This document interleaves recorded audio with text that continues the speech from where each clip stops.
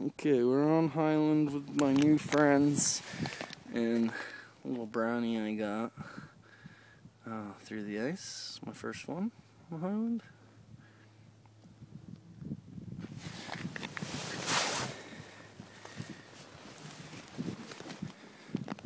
It's a good looking fish.